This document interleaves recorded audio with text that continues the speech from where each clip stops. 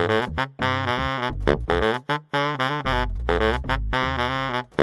everybody, Gene here with today's Home at the Movies review. On this show, we review things to watch at home on Netflix. So let's get right to it. Today, we're going to look at a classic example of New York City grime and character Al Pacino in Cruising.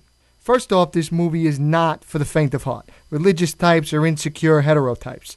A movie like this would never get made today, no chance. We've become so formulaic and safe in our collective creative outlets, one must look to the past for to see artistic risk takers. This film is set in New York City, late 70s, early 80s, before New York lost its soul and became a haven to the seen one, seen them all, uncreative, everything is daddy's fault, hipsters that now descend on the city like a plague of locusts. Mixed in, of course, with throngs of single women that have come chasing a fantasy that friends and Sex in the City created, uh, looking for that dream man, you know, dentist types like Dr. Spaulding. But they do not find him. Instead, they pack into clubs wearing their hooker best, trying to impress the city's douchebaggish supremacists as they spend their daddy's money on $500 bottles of Stoli and cranberry juice. Do not get me started on bottle service. Okay, back to cruising. In cruising, the nightlife culture delved into is a whole different ball of wax. It's a journey of an undercover cop into New York's once thriving gay leather subculture. These fellas are not gays as you see them exclusively portrayed nowadays in the media super non threatening family types, or accessories to rich and lonely middle aged housewives. No, this is the pre AIDS men that uh, want to have sex with other men, so there is no pretense here. That's right. It's only logical if a man doesn't have to play games for sex, he won't. Uh, let's watch a clip.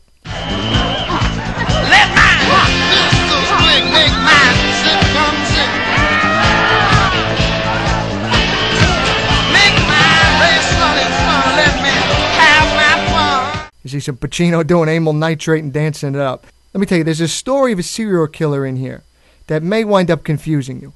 But watch this as sort of a macabre look into New York City that disease and homogenization is done away with, and there's a lot to like here. Also, a great scene with Powers Boothe explaining how the color of the bandana that you wear lets people know the sex you want.